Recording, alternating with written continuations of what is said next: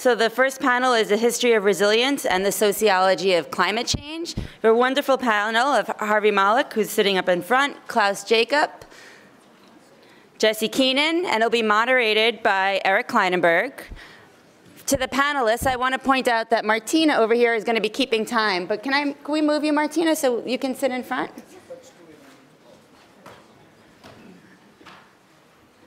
Perfect. And if there's a clicker, I don't know if anyone has it. Are you set? Uh, I think so. Okay. Just everyone take their seats. We're going to jump right in with Eric. Okay. Okay, all good. Great. Thank you. Thank you, A- A- Amy. Thank you, everyone. Can you hear me okay? Yes. So nice to see everybody here. Let me just ask you, you know, um, we talked a lot about design already. And one of the really interesting things um, about this project, Rebuild by Design, is from the beginning, it's include designers in conversation with many other people who aren't always in the room together. Um, my name's Eric Klinenberg. I'm a sociologist and also the director of the Institute for Public Knowledge at NYU. Uh, I was the research director for Rebuild by Design, and Rebuild by Design has been hosted uh, to some great extent at IPK over the last couple of years. And it's such a nice thing to see it move on to these other institutions uh, in new incarnations. It's wonderful to watch the network grow and experience it. Um, but because what we've learned from working on Rebuild by Design over the years is that it really is an interesting group of people who feel summoned uh, by this concept. I thought it'd be interesting for you just to get a sense of who is in the room. I'm also kind of a sociology geek, so I like to, you know, ask people who they are and to raise their hand so I can count them. Um, but join me in that for a second. Can you raise your hand if you are a designer you consider yourself in the design field? What about a, a, a social scientist? Okay. Anyone here who works in a government agency? Uh, a philanthropic group? Community organization? Are there students in the room? Any uh, faculty, researchers? Yeah. Uh, people who work in architecture design firms? All right, it's going to be a really interesting conversation. Uh, we have a terrific panel. When, when you uh, organize a group of academics to talk about any concept, the first conversation is always whether we agree on what the concept is. And of course we don't. Uh, and when you use it, when you come together to, to, talk about a concept as kind of robust and also, dare I say it, a little bit trendy, like resilience, uh, inevitably there's going to be some debate about what it means uh, and what it invokes. And so we thought that before we got into meaty conversations about how to des design any particular place, um, in accordance with some notion of resilience, that we would spend some time thinking about the history of that concept and thinking about the practical life of this concept uh, today as well. And we thought we'd place it in the context, the you know, social context, the cultural context, the environmental context of global warming. And so we have a terrific panel to do that. Um, we have Harvey Molotch, a distinguished professor of sociology and metropolitan studies from NYU. Uh, Harvey has won the Lifetime Award from the American Sociological Association for his contributions to urban sociology. He's written many, many uh, influential books from Urban Fortunes about the political economy of place and urban growth uh, to uh, his most recent book, Against Security, provocatively. Uh, we have uh, next to him Klaus Jacob, uh, who's a geophysicist and a research scientist, professor uh, at Columbia University, uh, uh, works at the Lamont Observatory. Uh, I first got to know Klaus when I was writing an article um, after Sandy for The New Yorker about what happened in New York, what broke down, how New York City should think about rebuilding in anticipation of the extreme weather to come. And every single person I talked to said, you have to go meet Klaus Jacob. Um, it turned out that, that uh, Professor Jacob had predicted with eerie precision uh, how this city's infrastructure would break down during a, a catastrophic flooding event. Uh, and before then, people listened to him seriously, and since then, uh, he has made enormous contributions to our collective debate, uh, both in the public sphere, uh, also in many design circles, uh, about how we should think about what he calls pro-building, since we can't just build back what we've had before, and we're really lucky to have him. Uh, we also have Jesse Keenan, who works here at Columbia, uh, an expert on uh, real estate, on climate change, on risk issues, and Jesse has worked on it for, for, for governments as well as for major uh, Fortune 500 companies around the world thinking about how we deal with risk and resilience, uh, how we implement resilience projects in the, in the strange, weird world that we live in now. So we have three very different perspectives. Uh, depending on how much time we take, I might even chime in with a few words of my own. And then the goal for these panels is for all of us to, to, to have a, a, a big conversation as well. And I just want to reiterate this point uh, that came up in the introductions. We are here to kind of experiment together and to try to build something that could work as a curriculum together. There's nothing that's set in stone at this point. This whole day, this whole weekend is about trying to collectively come up with a way that we can teach the most important uh, material in this emerging debate about what resilience means and about how we build moving forward. So let's all make sure that we see that big goal and keep it in mind when we join into the conversation together at the end of the panel. So that's more for me than you needed. Um, I'm happy that we're all here, and I'm especially happy that Harvey Molotch is going to kick us off. Uh, thanks. Uh, thanks, everybody. And um, uh, I was especially interested in the number of students who are here.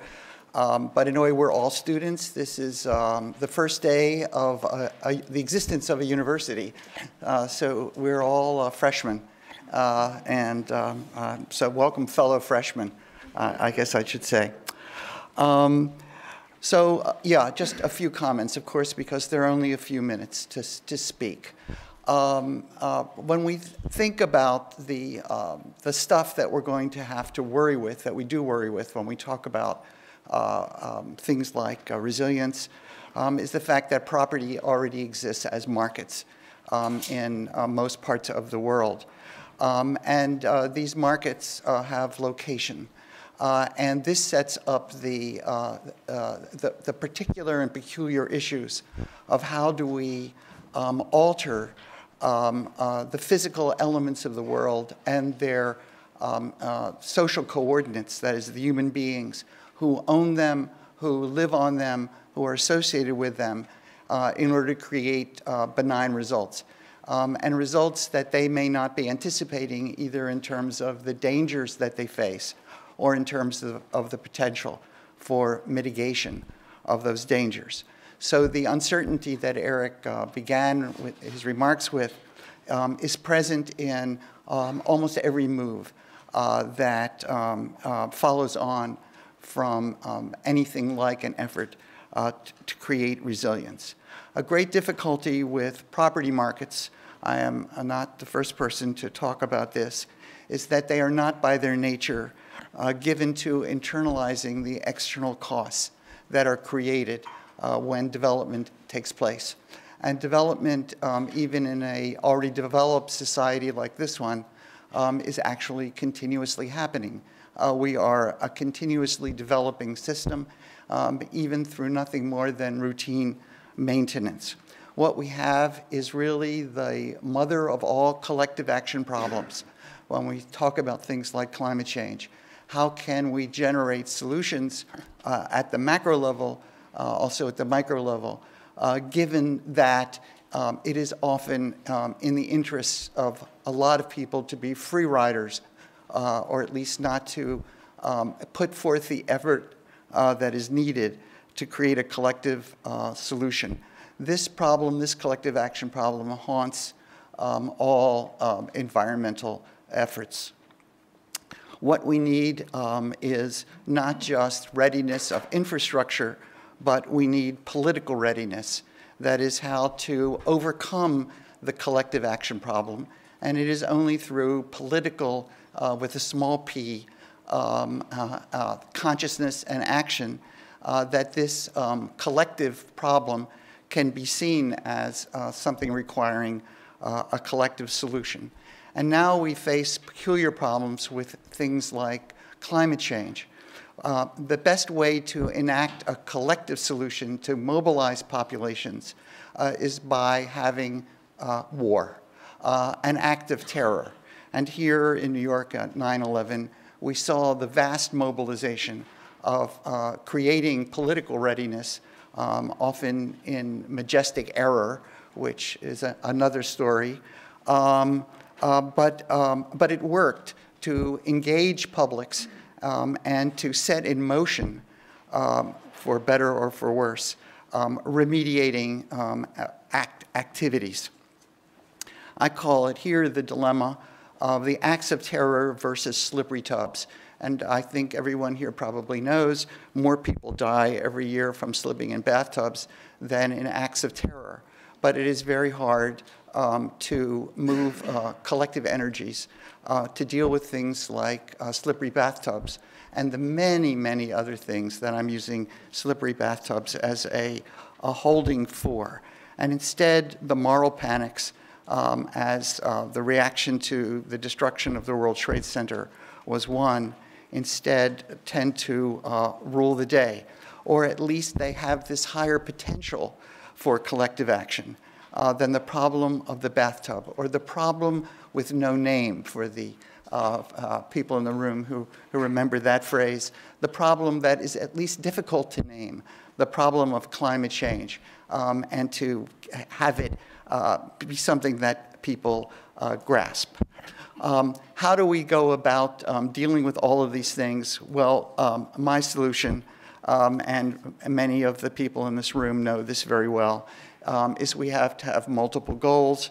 Um, and uh, any effort uh, to enhance resilience has its best shot when it, drama and mayhem not being on the agenda, uh, the best shot um, is by dealing with one goal uh, after another, after another, after another on multiple fronts. So the uh, remit for design then in this case is to um, create solutions that address many felt needs um, and, um, and for, and for the, the many. Um, there's a phrase uh, from a now deceased um, anthropologist at LSE who um, used the phrase, uh, the technology of enchantment. And I think that is a great phrase. He meant that when he was trying to put his child to sleep at night, the fact that the sheets had Mickey Mouse on them meant that he had a better shot um, at getting the kid into the bed. Um, the technology of enchantment translated into a resilience context means that all the elements that are um, the stories that are told, the representations that are made, um, and the solutions that one come upon, comes upon have to have um, the uh, quality of enchantment, um, of being both aesthetic, um, but also having uh, a, a, capacity uh, for doing things like um, housing, childcare, or here I've called it berms for better hockey, many things that are done at once and to do it unobtrusively. Um, obtrusively um, at times when it is meant to enchant and get a lot of attention, that should be also part of the scenario. But at other times, like good infrastructure always is, or almost always is, utterly unobtrusive, so that it is just sailed through without needing to be sold as a morally better thing or even as a solution to a collective action problem. Just something that becomes taken for granted um, either because of its enchantment uh, or because of its obvious utility um, to solving the needs at, at, at hand. Of course, this means deploying all the tricks of the trade of architecture, planning, all the letters of the place we're now in, um, the tricks of the trade, um, visuals, tactiles, mock-ups, videos, watercolors, models, and toys. Watch what you wish for. That's my, uh, my last downer of the day. And um, recycling is my poster child of worrying about getting it because it's apparently good, apparently useful, apparently right. Um, the good news about recycling is that we have millions of people, billions of times a day, all over the world doing something in an utterly selfless way. Uh, I'm not the only one who's walked around with a plastic bottle um, all over uh, a campus or a whatever, trying to find the right place to put it. Um, what a wonderful achievement for humankind. However, um, there are uh, hard ass facts, which is that um, recycling is trivial in, in its outcome. Um, and the problems that really are motivating our presence today, uh, climate change, have very little, if anything, to do with this great set of um, activities and efforts um, that um, unite um, virtually all the good consciousness, consciousnesses um, in the world. It is not going to, in fact, get us out of the dilemmas that bring us together. Thanks very much.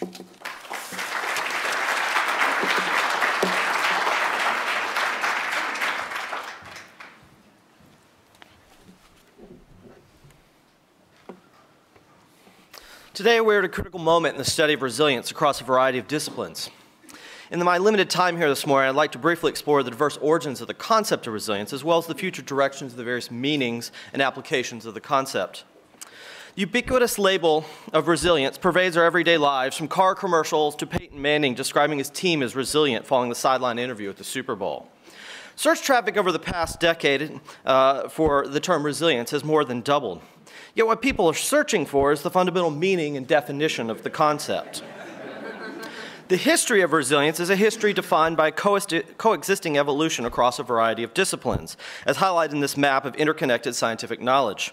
The early conceptual development of resilience was in the field of psychology, with the first published paper in 1973 examining the concepts, uh, I'm sorry, examining the coping capacities of poor children uh, being raised in Hawaii by alcoholic and mentally ill parents. By the early 1980s, juvenile psychology had been extended to a variety of subfields, including organizational industrial psychology, which was struggling to understand the impact of corporate culture on uh, employees, particularly the, in light of the stresses of corporate consolidations endemic to the decade. In its earliest manifestations, psychology was concerned with the mechanisms of returning to a stable and healthy psychological state with a prolonged exposure to traumatic and unstable experiences. At roughly the same time in the 1970s, ecology popularized resilience within a larger body of work developing dynamic systems theory, most notably the adaptive cycle. The adaptive cycle accounts for four evolutionary stages of a natural system, from growth to conservation of capital with high levels of resilience, to release and reorganization of capital with low levels of resilience. In this regard, resilience was conceptualized to be a description for the relative durability of a system to maintain stable performance when, within any given stage of the adaptive cycle. In heuristical terms, like psychology, ecological resilience spoke to the elastic function of a host to maintain a periodic stable state. As natural and human ecologies began to spin off a variety of synthetic areas of inquiries in the 1980s, resilience was co opted to describe social, organizational, institutional capacities for maintaining or seeking stability in the light of environmental degradation, economic inequality, and natural disasters. It's at this juncture that sustainability, international development, and disaster risk management incorporate various ecological frameworks of resilience. Concurrent with these developments in the early 1980s, civil engineering began to utilize the concept of resilience as a function of reliability and of capacity to, of a system to recover to a pre-shock state of operations. With several generations of engineering driven by efficiency at the cost of redundancy, resilient systems analysis was deemed a parallel critical evaluation to probabilistic failure analysis. The 1990s also saw the, the proliferation and the development of computer software for the mass market. The push for new pro products was moving faster than programmers could accommodate, and resilience methods from systems engineering were utilized to ensure that software could operate core operations in the face of inevitable coding errors. Leading into the 2000s, the business community co opted elements of both socio ecological resilience and systems engineering resilience and developed applied frameworks for practices in business continuity. These early practices were initially oriented around supply chain management, particularly in light of the global supply chain disruptions following the 2011 Tohoku earthquake. In returning to the point in time where natural and human ecologies intersect, this is where the epistemological foundations of resilience becomes muddled. In retrospective terms, we can identify two camps of thought. The first camp argued for a unified epistemological epistemological foundation of resilience, as it cut across both multiple dynamic processes that impacted both socio-ecological and biophysical processes. The argument was that a uniform, objective, and normative framework for resilience could empower a diverse set of stakeholders and could hence attempt to control for matters of equity and justice. This body of work led to progressive interpretations of resilience that were incorporated within sustainable and international development. This body of thought, although not entirely consistent, began to view resilience as leading to a future state that was superior to its predicate state. However, there was little agreement as to the parameters of the superior state. The other camp, grounded in natural science, ecology, psychology, economics, and engineering, argued that resilience should be conceptualized in its limited terms as an elastic function that returns the host to its pre-stimulus state.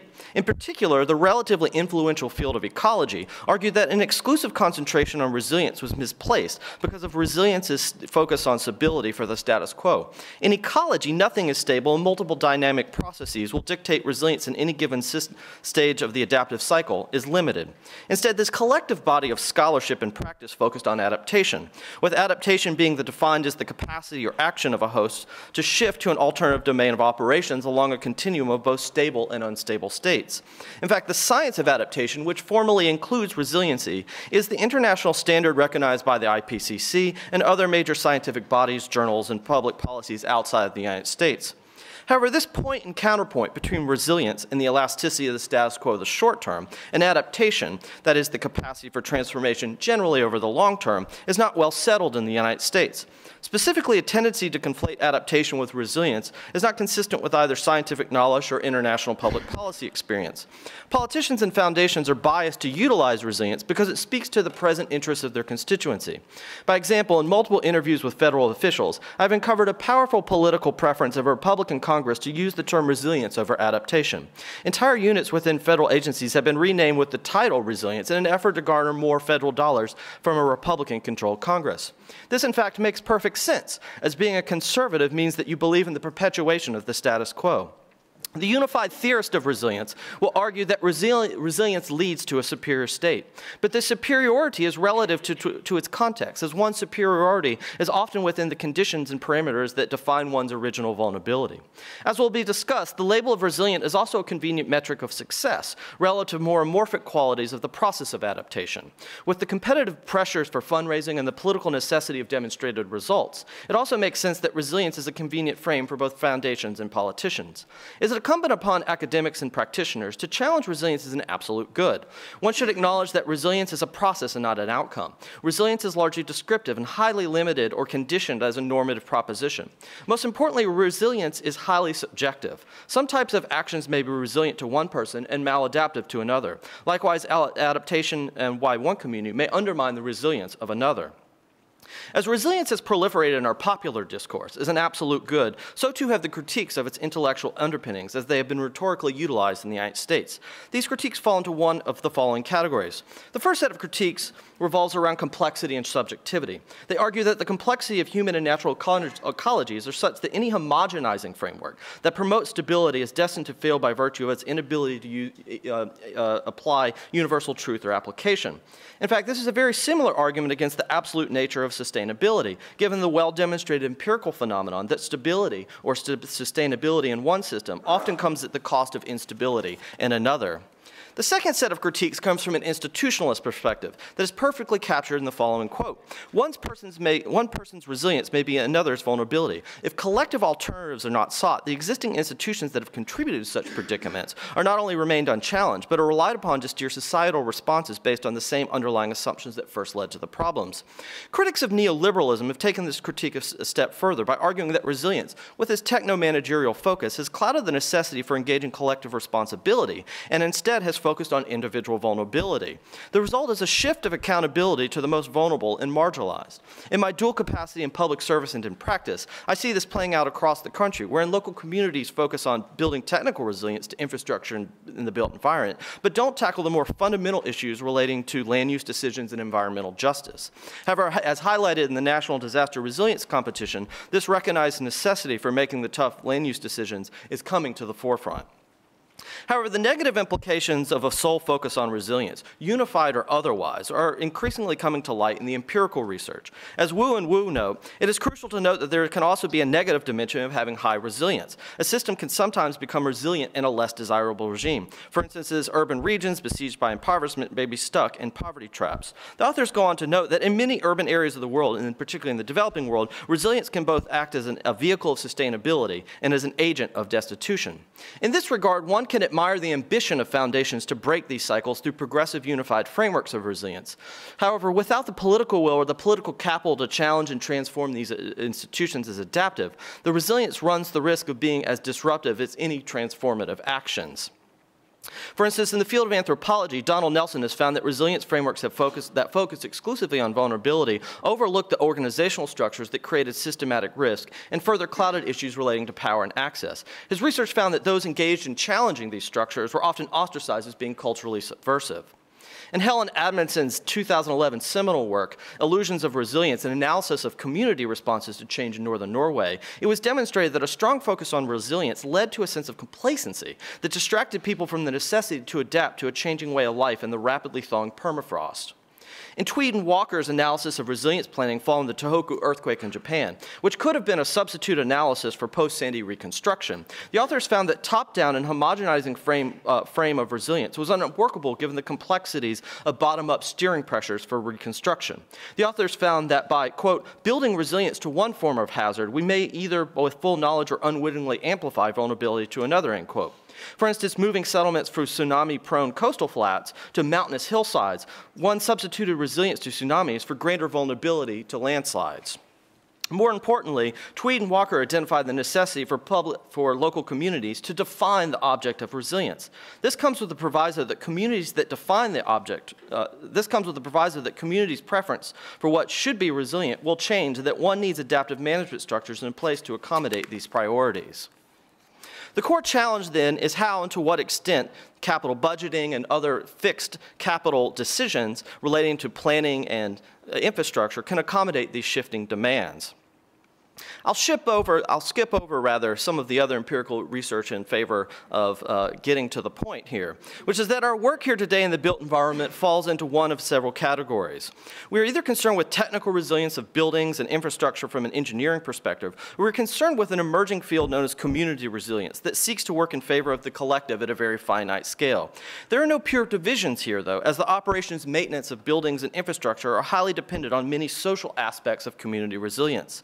However, to move forward with community resilience is a larger paradigm for action. That is to move from description, descriptive aspects to normative aspects of the concept. We need to acknowledge a set of conditions. We need, must acknowledge the limited nature of resilience as an elastic function to the status quo with a strong counterpoint in adaptation. For every action of resilience that focuses on vulnerability, we must challenge the equation to consider the cost of adapting the systems and institutions that are partially responsible for that vulnerability. We must acknowledge that resilience is entirely subjective and not an absolute good in its applications. And finally, we must acknowledge that local communities and stakeholders are responsible for defining the aspects of community resilience that should be perpetuated through resiliency and planning. I think I'll skip over some of the additional uh, uh, research that is going on, but I would say in particular, uh, something of use that is driving uh, uh, uh, research today is the empirical side, which is looking at the descriptive work, both pre and post event relating to common indicators of economy, housing, public health, that I think will certainly define the resilience as we understand it, in addition to some interesting sociological and social science work relating to the development of narrative narrative. And finally, I'll conclude with this. While my remarks here today are delivered in my academic capacity, my, in my public service capacity as vice chair of the Community Resilience Panel for Buildings and Infrastructure, a multi-agency federal initiative to harmonize resilience standards and practices, I urge those of you who are interested to check back in the coming months as we launch the Resilience Knowledge Base, which will be a one-stop shop portal for resources that document this merging field of practices. Thank you very much.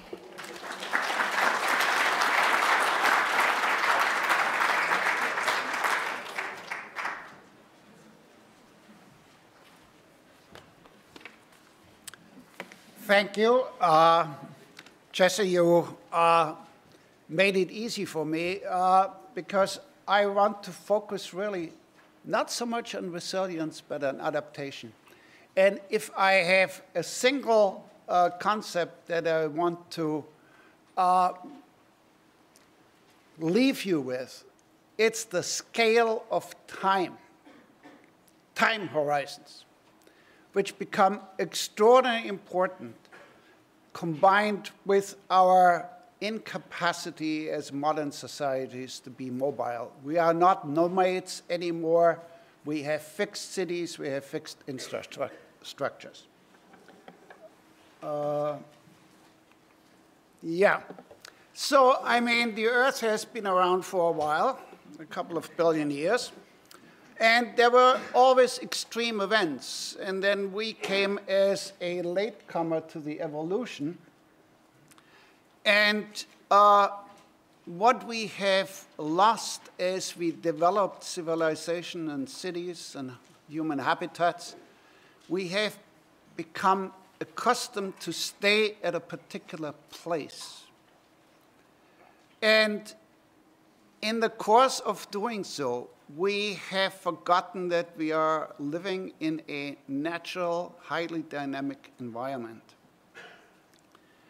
So some of the cities, if you look from a earth science point of view, are located in almost grotesque locations. Moreover, with development of technology and our ability uh, to harness particular fossil fuel sources, we have allowed to develop mushroom with an explosive demography, uh, population growth around the world that uh, in itself then causes, of course, a change, which we now call climate change. Uh, and it will be very hard to wean us off this uh, new phenomena. And one of the most dramatic impact on humankind will be sea level rise because we have had a tendency to move towards the coast, particularly in a globalized economy. It's convenient to have both production and transshipment all located together to get to the other continents and sell your goods. So while much of the vulnerability of the human society comes nowadays from socioeconomic pressures. It's these extreme events, or sometimes slow creeping events like climate change, that are punctuated by its extreme events on top of it, that uh, really amplify our vulnerabilities in an incredible way. Sometimes they are causative. Syria clearly has a climate change underlying uh, component uh, when there was a five-year drought preceding uh, the internal conflicts and displacement of people. Here are a few examples historically and otherwise. Uh, on the left, you see the Black Sea, and uh, there's not a pointer probably, but uh, there's a stippled line in the water where the shallow blue goes into the deep blue. That was the shoreline some 7,000 years ago. Uh, seven, yeah, 7,000 BC roughly. And then through the Bosporus, which is in the lower left, uh, the water from the Mediterranean was rising. It was the end of the glacial time and flooded within relatively short time, and nobody knows for sure what it was, maybe a year, maybe less. That shallow part of the Black Sea, and you see some two uh, black uh, squares there, that's where former villages are now being found on the bottom. These people were the first, if you like, climate refugees. Uh, they moved to Mesopotamia, and uh, it led to the uh, Epic of the Gilgamesh, in other form, Noah's flood. Uh, on the upper right, you see uh, a man-made disaster. There are boats in the desert. How can that be? Well, it's the former Aral Sea, uh, just a few hundred miles to the northeast of the Black Sea, in which uh, the usage of upstream waters that fed into the Aral Sea are used for cotton and other goods. So no water goes anymore into the Aral Sea, or at least not sufficient to keep up with uh, evaporation. So these fishing villages had to move to. In the lower left, you see uh, the misery of a societal dilemma that pre-existed uh, pre the Haiti earthquake in the year 2010, in which it is clear that resilience was not their first life necessity, that they had to cope with anything that gave them a roof over the, uh, their heads uh, was good, which was, of course, not resilience in uh, the earthquake. On the lower right, it's hard to believe how one can build so densely, so far away from any continent in the middle of the Indian Ocean in the Maldives. What will those people do when sea level rise will subsume them? There is no solution politically for that even after COP21, the climate refugee issue has not been addressed. Uh, while this is the uh, history of resilience, how much time do I have? Thank you. I want to look a little bit into the history of the future because I think that's where we can act now and in the future. So I think we truly have to understand and quantify the hazards if we want to uh, be resilient and adapt. We have to understand our vulnerabilities, or the engineers call it fragilities, in the social, but also in the built assets, and really quantify these things and it is a truly interdisciplinary task. We have learned how to map and quantify the risks that exist now, and we have climate projections and other tools in which we can project them into the future, yes, with uncertainty, but uncertainty is no excuse for non-action.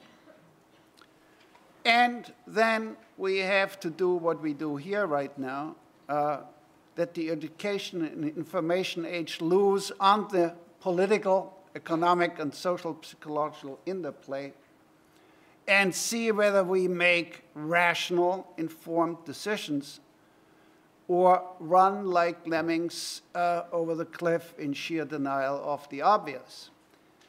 In other words, I think society has to learn again to relate to the extreme dynamic aspects of the earth, even so some of them are man-made. Uh, some of the tools are simple. Risk can be defined as vulnerability overlapping with the hazards and the exposure, where we place our assets with respect to hazardous conditions and how vulnerable those assets are as a function of the hazard, that makes risk. And if we reduce this overlap, then we can make progress. On the right, you see a graph that's a little bit hard to understand, but it, shows really how the 10, 100, and 5, 700 year storms will increase with sea level rise if you follow the dotted line where Sandy was flooding, let's say the Battery subway entrance in southern Manhattan, that was a 700-year flood height. By the year 2090, with that sea level rise forecast, it will be a 10-year flood. So a 70-fold increase in the risk exposure, a 70-fold increase. The lower right, that almost looks like a Maldives, uh, RBD has done a nice job uh, to have one of those projects, the Big U. But my point is here that what we do right now is unfortunately good only for 10, 20, 30, 50 years. We have lost the sense that sea level rise in particular, but other climate conditions elsewhere, have a long, long future ahead of us.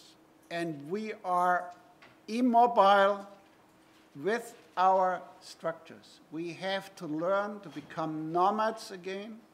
Our infrastructure has to be nomadic. Not sure how you do that. But that's the task at hand. We will not be able to defend where we are as much as we would like it to do. I will skip over the last one. It pretty much states the obvious while I'm leaving the desk here.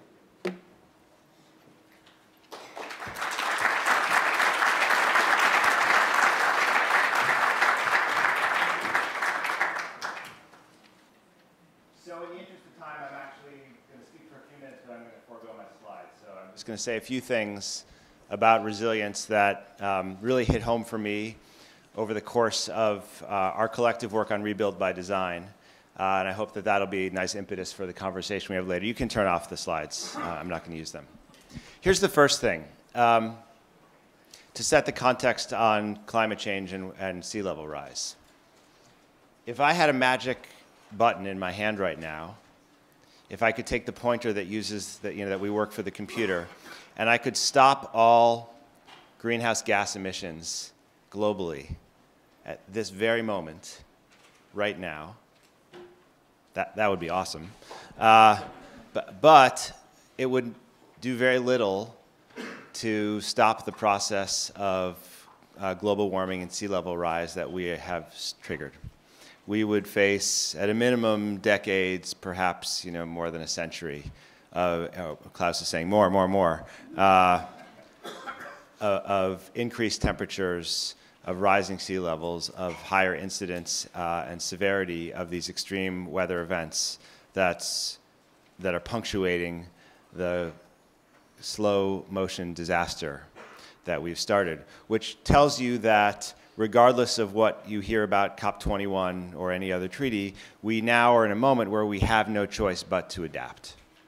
Right? So there used to be a debate in climate change circles about adaptation versus mitigation. And there are many people who wisely warned that if you spend too much time and energy thinking about adaptation, you will undermine potentially support for mitigation, which we urgently need to do, right? You might wrongly give the impression that we can handle this. You know, no need to mitigate because we can just adapt our way out of it, right? And, and that point might not be wrong, and yet we have no choice but to adapt.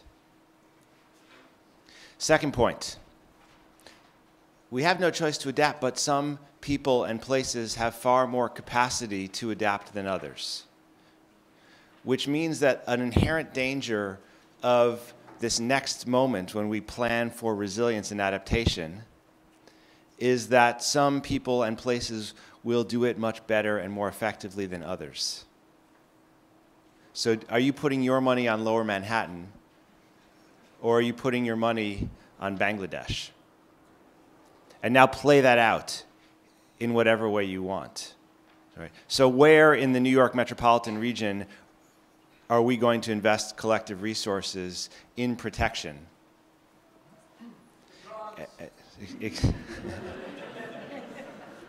and that laughter says so much.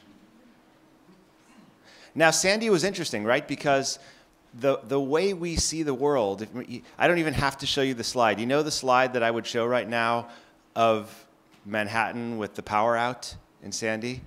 Right? This south of power, SoPo, right? And then you see Manhattan lit up everywhere around in lower Manhattan. You, you don't need me to show that slide, right? It's in there? Okay, so what was mind blowing about that slide is we have a view of the world in which the power's out in the Bronx, but the power's not out in lower Manhattan. Right? So it actually took some time for those of us who live down there to realize actually it's not coming back on anytime soon. Right? This is the financial center and the power center of the world in some way, and we don't have access to electricity. So there are ways in which we are all in the same boat right? It's not as if because you're in lower Manhattan, because you're in the United States, you're going to get through this change fine. We've all learned enough to know that's not true, right? Partly that's because, as Klaus said, we've put ourselves in harm's way, right? We've built and developed permanently in grotesque places. I like that term. Um, partly it's also because our critical infrastructures, the ones we have always depended upon, the ones that have proven reliable for quite a long time now, for at least for many decades, no longer seem up to snuff. Right? And so it's, it's clear that no one in this room trusts that the power grid will keep on working in the next major extreme event in New York City. Right? We, we don't think that the tunnels uh, will be dry. We don't think that the subways work. We, we know that if we live above the sixth floor in a high rise building, that the water won't come up anymore because the pumps will go down, right? We, we now know that these critical infrastructure systems that we have come to rely upon won't necessarily work even here in New York City. Right? So in some sense, we're all in it together. And in a way, our collective capacity to work on climate change as this collective action problem that Harvey Molotch talked about hinges on our understanding that we too are vulnerable. And yet we all know in this room, right, that we are so much less vulnerable than others. And this is a challenge for all of us who work on this. Is it inevitable that adaptation will result in heightened inequality, will create a new kind of environmental justice problem for the world? I think it is inevitable. But one of the things that's really interesting about Rebuild by Design, and if you think about the funding, the public funding for the Big U, for instance, is that the, the, this protection system for lower Manhattan, what got funded first was not the part of the Big U that's on the west side or Tribeca, right, where the wealth is concentrated. What got funded from the government initially was the Lower East Side, where there's public housing and concentrated vulnerability, right? That's not an outcome you get from the market. That's an outcome you get from politics and from the state. So let's not forget about the key role that state institutions play in this moment. Third and final point before our conversation. We're in a design school, and it makes sense to think about the built environment. It makes sense to think about big systems, big infrastructure systems. We've you know, talked about transit and power and communications. But one of the things that um, I've enjoyed so much these last few years through Rebuild by Design is helping to build the concept of the social infrastructure. Right? Because we have seen in extreme event after extreme event and in everyday life that in fact the social infrastructure, the, the conditions of the places where we live, of the institutions and organizations that animate our lives, that give us the capacity to connect with each other, or that might discourage us from connecting with each other. Those conditions of what I've called in my work the social infrastructure can matter just as much as these bigger systems that we spend billions of dollars building. And we ignore them at, at our peril. In Rebuild by Design, we, we made it an imperative for every group submitting a design that they think about multiple benefits of their projects, right? So if you're going to build a berm, it does something more than protect you against water, right? If you're going to build a wall, it should do other things, right? If you look at the Living Breakwaters design that Kate Orff and the SCAPE group uh, have designed for Staten Island, it's not just a way of reducing wave energy, it's also the production of a cultural amenity and a set of physical places that bring people of all ages closer to the water, closer to the ecosystems that we all live in, and closer to each other. And if we build for global warming without taking into account the social infrastructure, we will be missing something fundamental. Not just about how to protect ourselves from the extremes, but also about how to improve the capacity uh, we have to connect with each other to improve our quality of life, our health and well being all the time. And it seems to me it's inevitable that we, we must, we must develop in that way. Let me ask the panelists to come and join me. Uh, I believe we have some microphones that will come uh, through the aisles. We are recording, um, and it's important for everyone that uh, we be able to hear you. So please don't just stand up if you have a question. Please come. Um, I, are you gonna Are you gonna walk? Are we gonna walk around with the microphones? So raise your hand, and we will try to get the microphone to you. Hopefully, we have them on both sides. Okay, Hi. so we have our first question. If you wouldn't mind just introducing yourself, that would be terrific. Sure. I'm, um, I'm Eric Sanderson. I'm a, an ecologist at the Wildlife Conservation Society. and uh, Jesse, you mentioned a little bit some ideas that kind of come out of ecology and environmental science um, in your comments. Um, I think those are really important, and I, I hope in the Rebuild by Design University that, that you take into account that I think all the solutions that we need for resilience are actually written in, in the tome of nature. Nature's been dealing with these issues for two, for four billion years, as, as Klaus would say. And I think all the, we need to just look to nature to see what the kind of solutions are, when you need to adapt, what kind of resilience is there. And that has to do with the particulars of the nature that you're designed into, um, as well as more general principles like panarchy and the adaptive cycle. So maybe if the panel could reflect on that. I, you know, I know there's a strong emphasis on on social resilience and technical resilience, and that, that's all very well and good, but I think you can't really solve this problem without taking into account the ecological resilience issues as well. Yeah, thank you for bringing up panarchy because I think that that does have a social translation, and certainly it has in the scholarship from law to sociology, anthropology. Um, what I think is interesting in a school of design uh, is to think about um, uh, the extent to which one engages those natural processes, um, both as an accretive and as a destructive force, but as a uh, but as a manifestation of that force to utilize that energy. Um, and, and in many ways, that is a type of adaptation uh, within a larger system. You see that uh, on shoreline and waterfront development. There's engineering that has caught up to that. I- think it's a slightly difficult translation in social terms because of our tremendous status quo bias.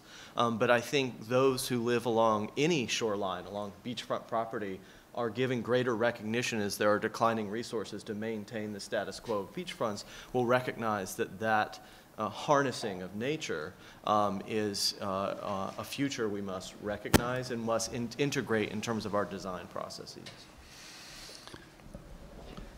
Uh, I might want to bring Darwin in. I mean, natural selection has been the way nature and life has evolved on this planet. And the question is with the time scales on which we have induced now climate change, uh, we have to substitute this process that genetically took place with an intellectual process that I think we have not come to grips with. Okay, uh, any of the projects, when you look here or globally, yeah, has no concept that sea level rise right now has no upper end. I mean, we wouldn't think of a, a big U as stemming sea level rise. Now, the Netherlands and the gentleman behind you can tell you a lot about that. Uh, thought in the 50s they can do that, and they have done an extraordinary job. The question is if we don't get this emission thing under control, and therefore sea level rise under control, and, and that means it has to sort of turn around maybe in 200 years or 300 years, instead of rising, it will curve over to flattening. They are trouble with all their technology. I always tell my Netherlands friends, you better be good friends with the French and the Germans and the Swiss up in the Alps. Uh, they don't like to hear that. Let's, let's uh, take some, some other questions. I think we have one on, on this side.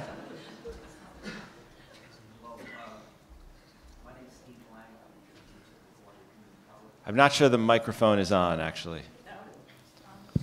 Okay. Could, could you address the um, issue of uh, how resiliency came to replace sustainability, especially in New York City? Because I remember being in this very room for many years talking about sustainability in the way we're talking about resiliency. How did it, how did resiliency come about so fast?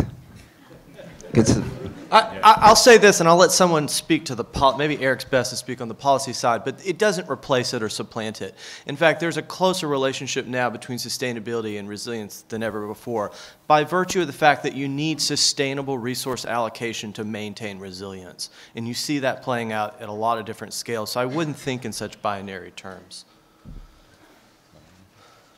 I, I think that's probably right. I, you know, I, I- I think the humility that's baked into the resilience concept um, is that we are now accepting that, that these extremes, these punishing and dangerous extremes, extremes will be a recurrent, if not a regular feature of the world that we live in. And so we're now planning around uh, catastrophic events in a new way.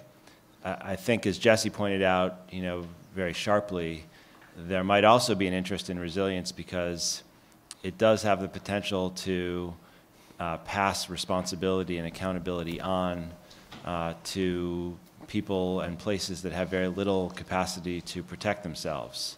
Um, so there's a there's a funny politics around it. I, it's my view that that's not necessarily the case. That you know resilience thinking does not need to uh, delegate responsibility uh, in that way. Uh, but I know that it certainly can be used to do it. And I know a number of people who have expressed concerns that if they become the beneficiaries of resilience investments, whether from philanthropic groups or from state agencies, that then they will be expected to take care of themselves in some new way. Um, so I think a challenge for people who are thinking in this domain is how, how do we make sure that this concept can do other kinds of, of work as well? Um, and and I, I think we're going to be debating that for a long time. Um, it's probably going to be the, outcome of, of resilience projects will be determined in the political sphere, you know, not in the academic sphere. Um, and there's a lot of work to be done. But I, I do think that Jesse is right that um, we're, we're hardly over sustainability. Um, let's, let's continue to take questions. I know we have one on this side. Is the microphone over there? Judith Weis from Rutgers University. I'm an ecologist, also an estuarine ecologist, and um, there was a project on the re- Rebuild by Design that didn't get funded in the Hackensack Meadowlands. It's an area that I spent a great deal of time studying, and the people who studied it and the environmental groups in the area were very opposed to the plan because it filled in more wetlands. And part of the reason that the Hackensack Meadowlands towns flood all the time is because they were built in former wetlands. And we were very opposed to this plan. The plan did not get funded. I don't think its lack of funding had to do with our opposition to it. But um, we're concerned that the people involved in that particular project did not consult the uh, natural scientists, the biologists uh, that were involved studying those wetlands. And I'm just wondering if somebody can comment on that. Yeah. Are- Are you raising your hand because you'd like to comment on that? Yeah. Yeah. Surprise! Yeah. Uh, I'm, I'm Alex Felson. I'm an um, ecologist. I graduated from Rutgers also, but I'm a landscape architect.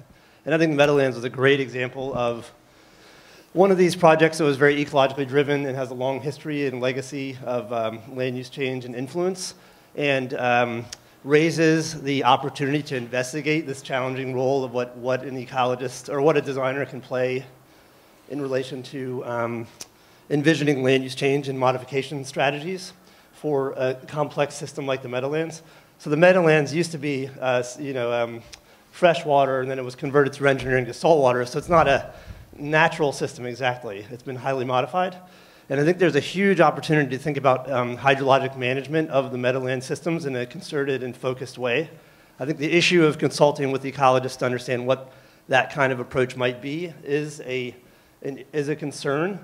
But there's there, the idea of teamwork and collaboration is, I think, what the, one of the agendas of this kind of communication strategy. So it's supposed to snowball into broader discussions that can essentially generate direction for humanity. So I think the intentions behind the Meadowland project were really interesting and exciting. I think the communication strategies for how these different perspectives get in play is important. But the Meadowlands itself, because of its history, is a site where this kind of investigation and manipulation can occur in a productive way. Okay, uh, next question on this side, please. Hi, uh, my name is Tor Tors. I'm a New York-based um, real estate person. Um, so uh, my, my question has to do with your experience uh, uh, with regard to engaging the, uh, the, the, global elites, uh, the people who have money, who get behind causes and, and put their names and their money behind various efforts. Um, do you see disconnects between what they're interested in, in funding, for example, you know, health in, in, in Africa, that boosts population or the education system versus focusing on uh, resiliency issues? I'll jump in and say this. We tend to frame resilience within the context of risk and risk management. The flip side of that is that it's also about opportunity.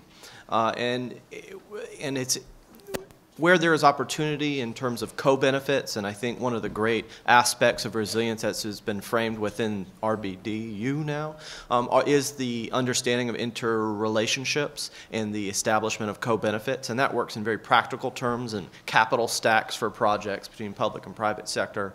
But on the opportunity side, um, there is money to be made from climate change as there is from any manifestation of change. And I think it's in some part about portfolio management, some part about supply chain management. It's a techno managerial end of the equation that does speak um, not just to managing risk, but managing opportunities. And so there is a strong um, there's a strong movement within the private sector um, to address this because when you look at adaptation, and I, I completed a, and published a case study over several years on Goldman Sachs because I wanted to know why in that photograph did Goldman Sachs have their lights on when everybody else did not. And in that study, I found, really looking at the literature review of adaptation with technology, there's all types of manifestations of change. And so there's all different types of adaptations. And resilience as a matter of business continuity. Um, that's a well understood phenomenon, and it's as an empirical phenomenon. And it is growing and evolving and maturing in a way where companies are engaged and they see if there are opportunities for, let's say, public co-benefits, they will take those opportunities. So I feel very strongly that there's a lot of hope that we will have a, some contribution to the public realm, and certainly that will also come at some cost, and it's, that's a resource trade-off like, like all, all things. So this brings up my fear of recycling. Uh, uh, um, I sometimes think, where is our global ruling class now that we really need one? And um, if, if we tune into the uh, uh Republican um, uh, events, uh, we can see just how vast the distance between um, some kind of effective consensus of taking future action um, and what um, does exist in consciousness. And this brings up, uh, this comes up before we think about China um, and India and the, uh, the, the, global scale um, that we need some sort of coordination of, of elite authority to uh, be uh, operating on. Um, this is, just, is part of the challenge. We have so time for one last question. That's what I was going to say. Sorry. You're really good at that job. Hi, my name is Chloe Demrovsky. I run Disaster Recovery Institute International. And uh, bringing up the point about Goldman Sachs and having the lights on, uh, we train and certify those private sector professionals who do that, who do business continuity and risk management, disaster recovery, and all of that. And we bring them together to have this same conversation in parallel And I think that this community and that community could greatly benefit from speaking to each other more. So my question is, how do we bring the private sector and the academic communities together in a way that will bring and add value to both sides? It's so important in this particular topic above all others. Uh, Jesse just said it, by opportunities. I mean, there will have to be a lot of new cities rebuilt and a lot of infrastructure. So the financial sector is absolutely crucial that we find the tools. The problem with those things, however, again, is the financial sector in particular has a relatively short term. I mean, 30 years mortgage is as, as long an instrument that they have ever invented. Okay? That's not enough. So we have to have sort of a 100 year climate mortgage to invent in the financial sector. We uh, have packed your day, which means we go right from this panel to the next one. Um, please join me um, in thanking the panelists and getting ready to turn it around for number two.